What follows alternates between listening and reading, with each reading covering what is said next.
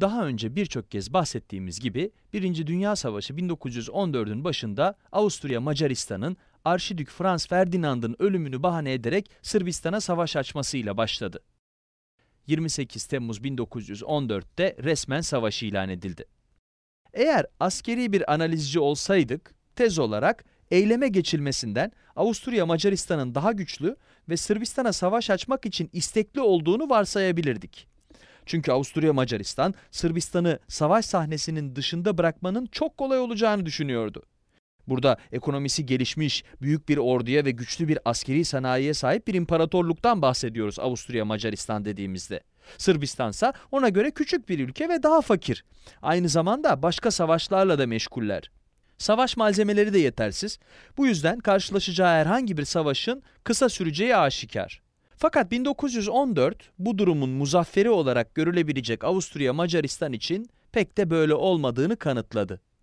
Biraz sürpriz olsa da Sırp ordusu Avusturya Macaristan kuvvetlerini tutmayı başardı.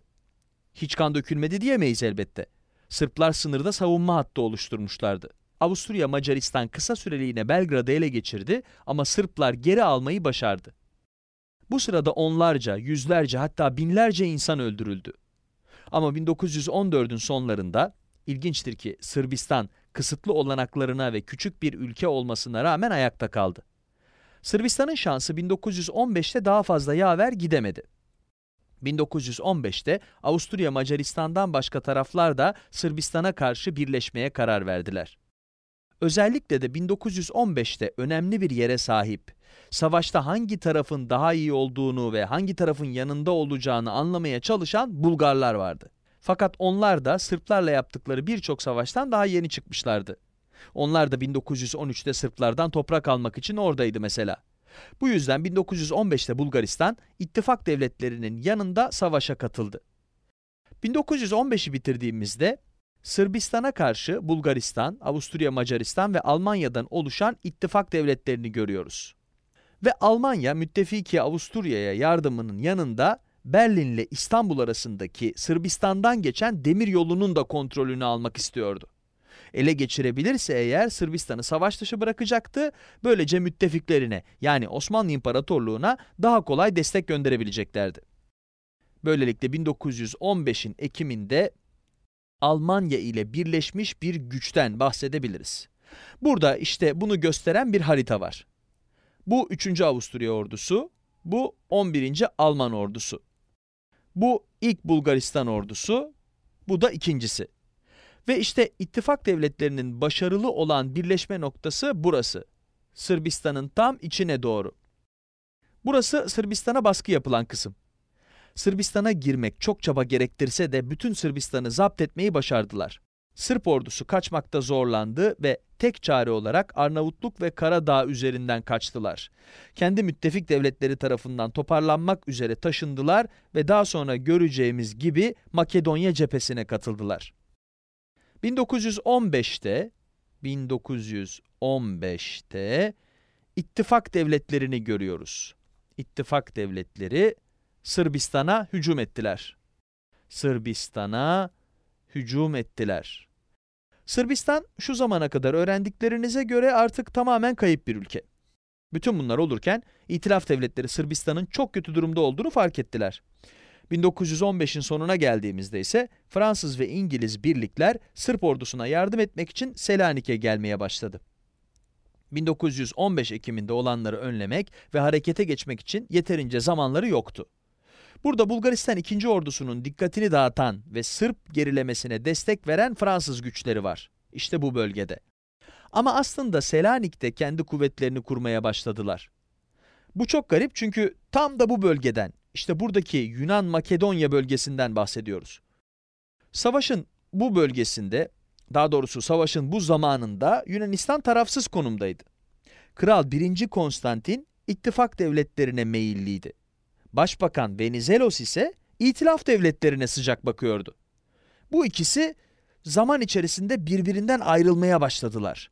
Daha sonra başbakan istifa etti. Buna rağmen başbakanın arkasında gerçekten büyük bir destek vardı. Özellikle de Yunan-Makedonya bölgesinde. İtilaf devletleri arasında da ona destek olanlar oldu. 1916'ya geldiğimizde Venizelos için Makedonya ve Yunanistan'da özellikle Selanik bölgesinde İtilaf devletleri tarafından yapılan bir darbe var. Yunanistan resmi olarak tarafsız olmasına karşın İtilaf devletlerinin bu darbeyi yaptığını görüyoruz. 1916 Venizelos için bir darbe. Venizelos için bir darbe. Bu darbe Yunanistan'ı ilginç bir duruma sokuyor. Ortada Venizelos'un destekçileri tarafından kontrol edilen bir Yunanistan var. İtilaf devletlerinin kontrolünde olan Yunan Makedonya. Ülkenin geri kalanı ise hala krala sadık. Kral da henüz ne yapmak istediğine karar verememesine rağmen ittifak devletlerine ılımlı bakıyordu. 1917'ye geldiğimizde İtilaf devletleri Yunanistan'ı ablukaya alarak güçlü bir konuma ulaştı. Yunanistan'ın güneyine kuşatma yaptılar. Ekonomik ve sosyal hayat açısından zorlu bir sürece girdiler. Özellikle de Haziran'da halk epey zorlu zamanlar yaşadı. 1917'nin Haziran'ında 1. Konstantin sürgün edildi. Bu noktada bütün Yunanistan itilaf devletlerinin tarafında olmayı kabul etti. Buradaki harita yeni itilaf devletlerini gösteriyor işte. İtilaf devletleri gibi gösterilen ama aslında tarafsız olan Yunanistan, 1917'de 1. Konstantin sürgün edildikten sonra resmi olarak İtilaf devletlerine katıldı ve resmen onların müttefiki oldu.